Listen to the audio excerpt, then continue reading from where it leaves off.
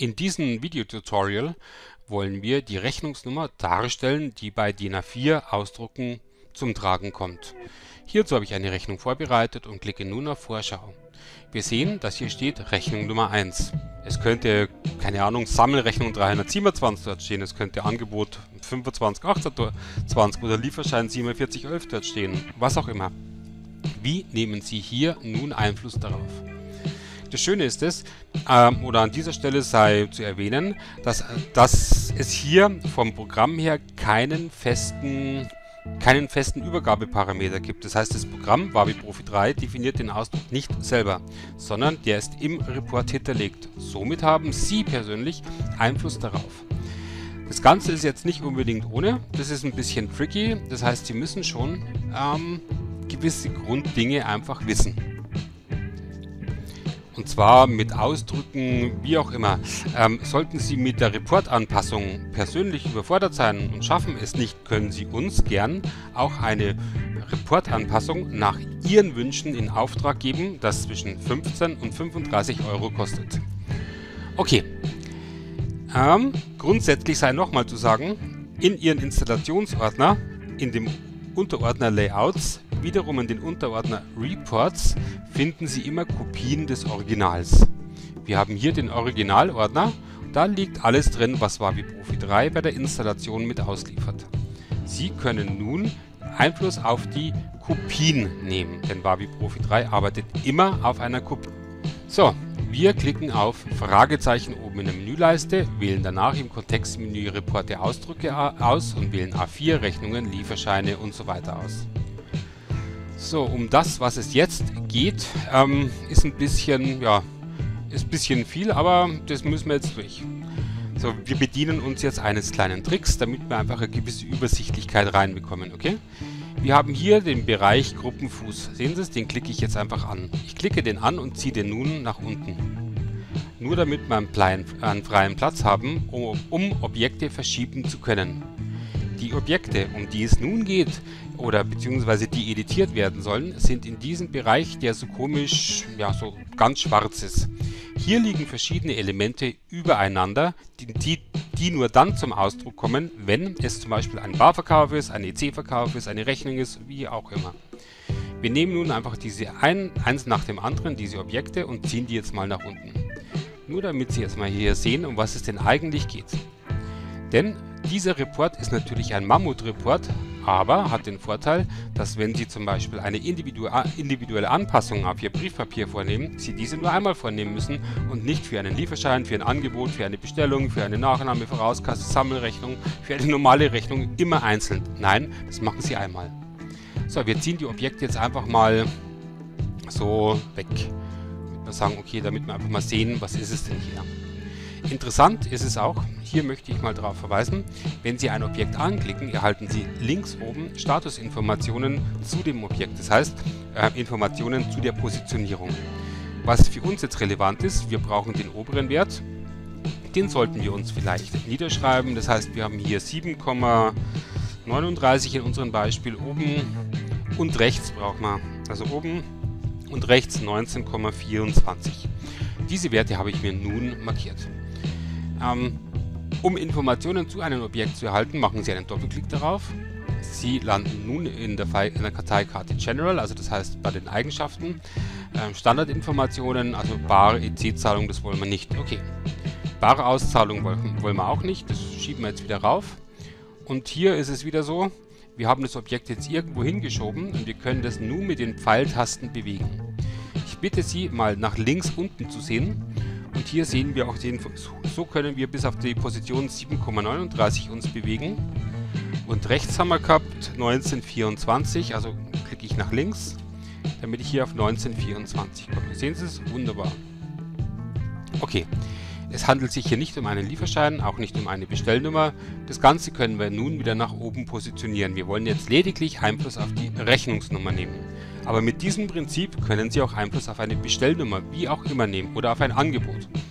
Oder wir machen das jetzt einfach mal, ist doch jetzt egal. Also, wir stellen uns jetzt eine Aufgabe, dass wir sagen, keine Ahnung, die Rechnungsnummer, wir wollen zum Beispiel das Jahr vorangestellt haben, 2017. Also, Jahr, ähm, keine Ahnung, dann wie auch immer fünf Stellen, sagen wir mal. Oder sagen wir mal acht Stellen. Ähm, inklusive Rechnungsnummer. Okay. Das ist jetzt unsere Aufgabe. Stellen inklusive sollte man richtig schreiben. Das heißt, wir haben dann acht Stellen inklusive Rechnungsnummer.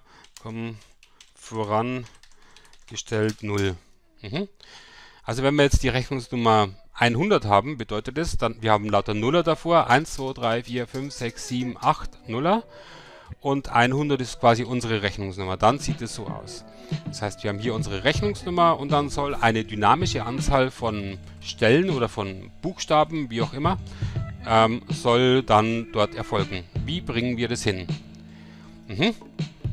Also, wir gehen hier auf, wo haben wir es denn? Äh, Rechnung, Sammelrechnung, Vorauskassierrechnung. Das müsste die sein. Ne, die, die hier unten. Ist I, Verkauf, Gesamt und so weiter. Okay, hier haben wir den, den Ausdruck, um den es geht. Das ist natürlich relativ unübersichtlich, deswegen klicke ich dieses Feld hinein, drücke Steuerung und A und Steuerung und C, somit habe ich mir das in der Zwischenablage gemerkt. Ich öffne mein Word und füge es jetzt einfach mal hier ein. Okay, hier haben wir schon, der sagt dann, okay, falls meine Gesamtsumme des Verkaufs minus der eingelösten ähm, Gutscheine größer oder 0 ist, ist es eine Rechnung. Okay. Und ansonsten ist es eine Gutschrift. Mhm. Also das heißt, wenn es größer als 0 ist, ist es eine Rechnung. Steht hier Rechnung. Und dann ansonsten ist es eine Gutschrift. Und danach kommt die Rechnungsnummer. Okay. Die Rechnungsnummer ist ein numerischer Wert und die Funktion Transform ähm, macht nichts anderes. Der, der wandelt diesen numerischen Wert, also diese Zahl, in einen String um. Ja? Denn ein numerischer Wert ist ja von 0 bis 9 und ein String kann jedes Buchstabe oder jedes Zeichen der Welt enthalten. Jetzt wollen wir unser Datum haben. Die Funktion Datum erhalten wir, indem wir wie folgt schreiben. So, ich mache jetzt hier, ich schreibe ähm, Transform. Wir müssen es auch wieder transformieren. Transform, Klammer auf, Date, Klammer auf, Klammer zu. Und in unserem Beispiel ist es so, brauchen wir das Verkaufsdatum. Also müssen wir das hier anders machen, weil das Verkaufsdatum ist ja gespeichert. Wir brauchen also Verkauf, Punkt, ähm, Umsatztag. Verkauf, Umsatztag, okay. Ähm, und davon brauchen wir das Jahr. Also müssen wir sagen, wir brauchen das Jahr. Also transformiere uns das Jahr des gespeicherten Umsatztages. Okay, dann erhalten wir 2017 zum Beispiel. Nun sagen wir, nun brauchen wir die Rechnungsnummer. Die Rechnungsnummer haben wir schon, nur wir wollen ja auch Leerzeichen, also das heißt 0 voranstellen. Das bedeutet, wir sagen eben pad left, das ist eine Funktion, die ermittelt, ähm, wie viele Stellen auf der linken Seite noch frei sind, na, von unserem Wert, das heißt von unserer Rechnungsnummer machen wir ein Komma dahinter und wir sagen ihm nun, wir haben, wir wollen acht Stellen insgesamt haben und machen wir wieder ein Komma dahinter und schreiben Gänsefüßchen 0 Gänsefüßchen und schließen die Klammer. Das bedeutet, er sagt nun, er schaut nach, wie lang denn diese Rechnungsnummer überhaupt ist. Wenn es drei Stellen sind oder wenn es zwei Stellen sind. Also wenn es drei Stellen sind, sagt er, okay, ich brauche acht Stellen, also stellt er fünf Nuller voran und wenn es 4 Stellen wäre, klar, dann würde er quasi 8 minus 4 Stellen der Rechnungsnummer 4 0 voranstellen. So, das soll es eigentlich gewesen sein. So. Ähm, jetzt kopiere ich mir das Ganze, Steuerung C und füge das hier ein. Das heißt, ich mache mir das hier ein kleines bisschen größer. Ich drücke jetzt einmal entfernen, damit alles weg ist und mache Steuerung V für einfügen. Das geht nicht. Okay, toll. Wie komme ich jetzt dahin? Dann müssen wir es halt hier machen. Hier drücken wir jetzt entfernen und machen hier V. Da geht's. Okay. Also nicht auf das kleine Pünktchen klicken, sondern direkt in den Feld General, in der Karteikarte General machen. Und jetzt sagen wir okay. Jetzt sollten wir, ich schiebe das jetzt einfach mal, ist jetzt nicht schön, was ich mache, aber es geht ja zur Ansicht. Wir wollen jetzt explizit diese Rechnungsnummer, den Ausdruck der Rechnungsnummer bearbeiten, okay? Also ich hau jetzt mal einfach das Bild weg, mache jetzt mal das Ganze hier da weg so, das auch weg, Angebot weg, einfach mal darauf, damit es weg ist, Bestellnummer weg, wie auch immer, Lieferschein, Sammelrechnung und ich nehme jetzt dieses Feld und lege das jetzt über die anderen, also über die eigentliche Position. Wir haben gesagt, hier oben 1739 und rechts was 1924. Wenn Sie das haben, schieben Sie natürlich den Gruppenbereich wieder nach oben, klicken auf das X und, und ähm, bestätigen die Abfrage des Speicherns mit Ja.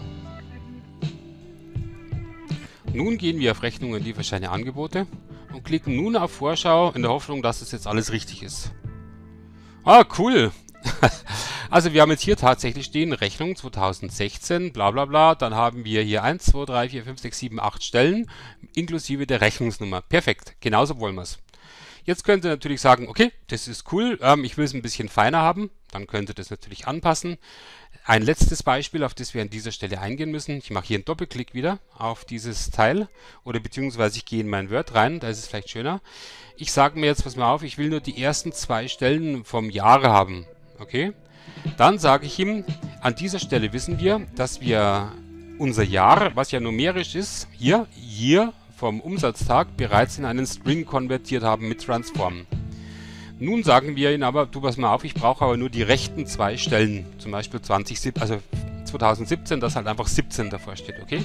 Also sagen wir, wir wollen die rechten zwei Stellen, also sagen wir ihm right, Klammer auf, und jetzt stellen wir uns hier nach dem Ende der zweiten Klammer vor dem Komma, äh, vor dem Pluszeichen und machen ein Komma und sagen ihnen, wir brauchen zwei Stellen und machen das Ganze mit einer Klammer wieder zu. Bedeutet normalerweise jetzt, kopieren wir uns, Steuerung C, gehen hier auf das Feld rein, gehen da rein, sagen hier Steuerung A, drücken Entfernen und sagen Steuerung V zum Einfügen, das was wir in der Zwischenablage hatten. So, jetzt speichern wir das Ganze. Dann sollte er nun Rechnungen, Lieferscheine, Angebote. Jetzt an 20, anstatt 2017 sollte er einfach 17 oder äh, 2016 haben wir, Entschuldigung, 2016, also 16 voranstellen. Also perfekt, genauso wie wir es haben wollen. So können Sie quasi Ihre Informationen äh, oder Ihre Information oder die Rechnungsnummer formatieren. Sie können natürlich hier irgendwelche Zeichen dazwischen fügen, wie immer Sie wollen. Ähm, hier können Sie sich wirklich austoben und an dieser Stelle bitte nochmals, sollte, sollten Sie Ihren Report dahingehend verändert haben, dass nichts mehr geht, dass Sie ein leeres Blatt Papier bekommen, haben Sie einen Fehler gemacht. Das bedeutet, ein Fehler im Ausdruck kann Wavi nicht mehr auswerten und wenn er einen Report nicht mehr auswerten kann, bringt er ein weißes, leeres Blatt Papier. Dann noch einmal den Report zurücksetzen oder Ihre Änderungen dahingehend modifizieren, damit es wieder ein gültiger Ausdruck ist. Abschließend, sollten Sie damit nicht zurechtkommen, können Sie gern unseren Service für die Reportanpassung buchen, der je nach Aufwand zwischen 15 oder zwischen 10 und 35 Euro liegt.